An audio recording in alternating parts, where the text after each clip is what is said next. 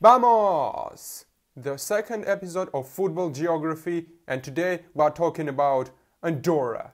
Little, adorable Andorra. This micro country situated in Iberian Peninsula between France and Spain. This is their flag. It was inspired by French and Spanish flags according to the colors. The country is multinational. People speak Portuguese, Spanish, French in the majority, and Catalan, which is the official language. So the country's name in several languages is. And now, the linguistics.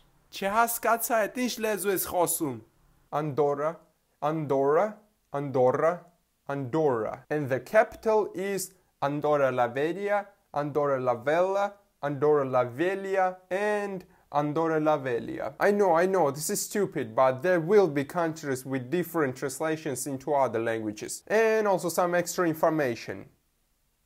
Andorra gained independence in 790 and now we are starting to talk about football. The Andorran Football Federation is governing football in Andorra. There are two divisions. Highest level is Primera Divisio, 8 clubs, and Segunda Divisio with 10 clubs. There are not so many teams in Primera, so teams play three times with each other. Then the league splits in half, and first four teams play two games against each other to determine the champion. Other four determine the relegated team. Last but one team plays against runners-up of the second division to see who deserves place in Primera. They have an autumn-spring system. The actual champion is Inter Club de Escaldes and the most title owner is Santa Coloma with 13 titles who won 6 consecutive titles in last decade. The second place is Club Esportiu Principat from the capital with 3 titles. The actual Cup Copa Constitucio winner is Union Esportiva Engordany, and the title record holder is Santa Coloma with 9 titles. The most title team in Super Cup and actual champion is Santa Coloma with 7 titles. And they even have derbies like El Clasic Santa Coloma Santa Julia and Santa Coloma Derby FC Santa Coloma versus Union Esportiva Santa Coloma. Also there is a club from the capital owned by Gerard Piqué but they play in Spain like Monaco in France. Just an interesting fact. For the Champions title, they get placed in preliminary round in Champions League. That is the farthest stage from the final, where also play champions from Northern Ireland, Kosovo, wait, I say it again, I will have problems with Serbians again. And San Marino. Cup winner and second and third place in the league are getting a place in preliminary round in Europa League. The national team of Andorra won only six games in their history. I'm not sure, but stats are saying like that. Today they will have a chance to have one more win against Latvia in Nations League. Their first game was against Estonia in 1996 when they blew up 1-6.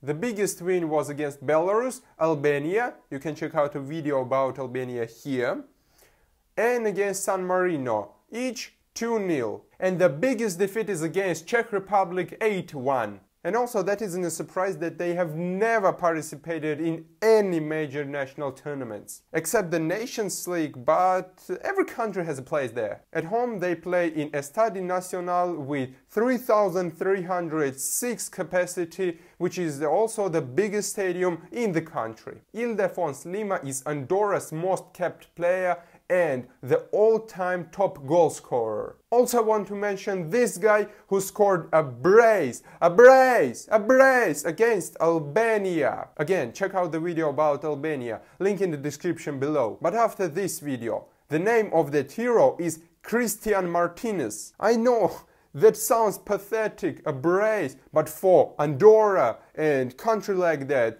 that is incredible. And these plays are also one of the most popular plays in the country. There are not so many stars because Andorrans play in Andorra and low leagues of Spain, Norway and United States. Also, there's no Andorran player in FIFA Mobile. But if you are interested in that mobile game, you can check out uh, this video when I created full Man City season 2021 with Messi. In conclusion, I want to say that it's great that such microstate at least has a football league system with even two leagues, while small middle, or big countries celebrate only wins, this country celebrates goals. So what about wins? I think after a win they having a non-working week in the whole country. If you enjoyed this video then do simple things which isn't hard for you but very important for me.